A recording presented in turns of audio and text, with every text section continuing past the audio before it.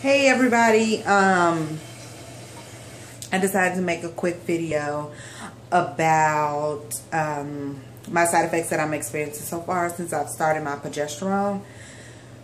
Ooh, um, nothing really too bad. I just noticed that i am really sleepy and get a little dizzy and nauseous. So right now I'm on um, the patches. I have four patches on as of now. Um, what else? I just got off work on it's Friday and I'm having a memory block.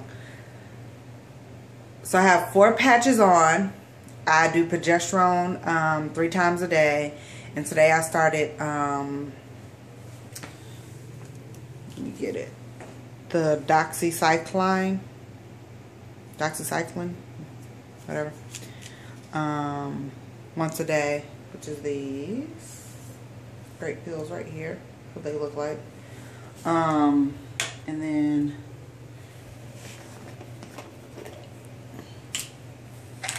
my progesterone pills. They're not really big. I know y'all can see that. There you go. Where's the camera? Oh. They're not really big. Um, so I started those. And um, I'm I am super sleepy. Like before I started this entire process, I mean, just everything, I would go to bed. I have to be, I work from 8 to 5, from Monday to Friday, 8 to 5. I would go to bed around 11, 30, 12, sometimes 1. Because I'm just, you know, I like to be up at night and then, you know, I'm not a morning person. So, and I wouldn't be tired, you know, and, and now that I'm on all these pills and I don't take any shots anymore, so that's good um, these pills and these patches and doing this and doing that. I mean, I am sleepy. Like my body is just exhausted. I'm tired. I can't wait for this part to be over. And I know, you know, um, it may get worse during pregnancy or whatever case may be, but at least I know I'll be tired because there's a baby in there, not because I'm on all these dang on pills. Um, but anyway, so my side effects so far of all of this, um, this little FET protocol, I, am really nauseous and I'm really sleepy. Um, the first day I took my progesterone, I was kind of lightheaded. Um, but other than that, yeah. This morning I had a wrap for breakfast and usually, I guess with the wrap, they cut it in half and then, you know, wrap it up, whatever. So when I went back to work, I ate half. Usually I eat my entire wrap, but I ate half and I just felt real queasy. I've tried, um, what do you call it? Uh, ginger ale. And that one, it, it helped a little bit. It helped while I was drinking it, but maybe like two minutes when I was done and I put the bottle down um, I felt it again.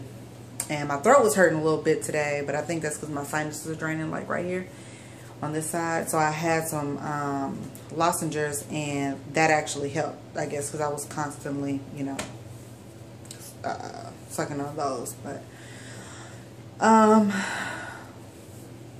mm, what other side effects? That's it. That's pretty much it. Um, again, I'm, I'm not one of those people so far that has had, buddy, Focus. My dog is crazy. Um, I'm not one of those people that has experienced um, like the emotional side effects and just crying all the time and all that stuff. So that was that's good. That's a, a real good blessing right there. But anyway, um, back to earlier what I was saying. I, am used to going to bed around 11, 30, 12, but I can't with the with you know with my new protocol because I'm just so exhausted. Now I find myself going to bed around 8.39 and I'm still tired. That's crazy. Um, like right now, I could really go to sleep.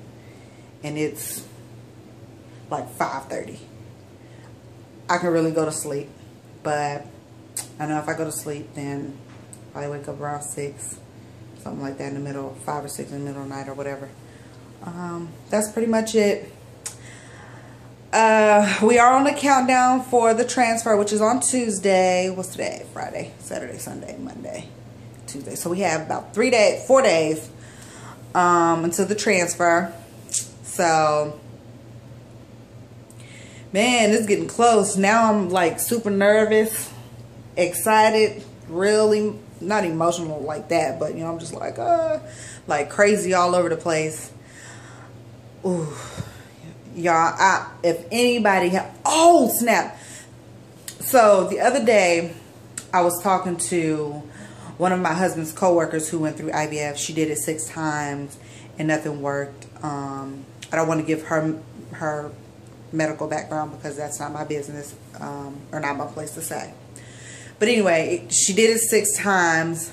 It didn't work. So her best friend, who's been her best friend since preschool, decided to carry the baby for her. So she said she tried acupuncture. They did acupuncture the day before the transfer and the day after. And she also said that um, her doctor's office is starting to recommend that or require that as part of the treatment because their success rates have been extremely high for FETs and acupuncture or even, um, yeah, for FETs and acupuncture.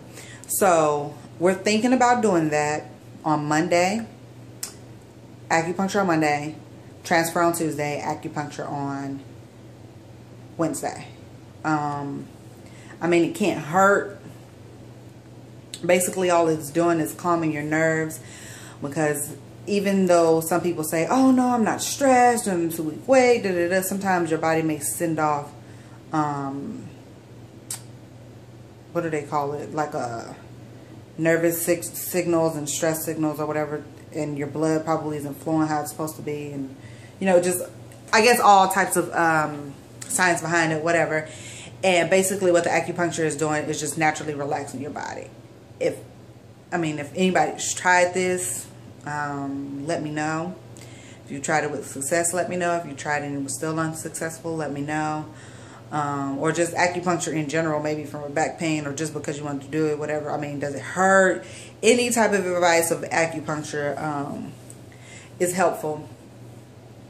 So that's what we're going to do.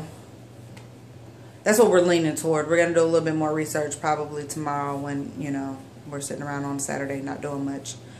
Um, so, what else? That's about it.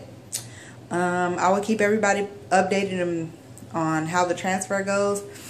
On Tuesday, I will be doing the video, uh, doing a video after my transfer, let you guys know how it went, um, how I'm feeling, and that kind of stuff. So, that's about it. If you have any questions, please leave them below. And I'll talk to you guys next week. Bye.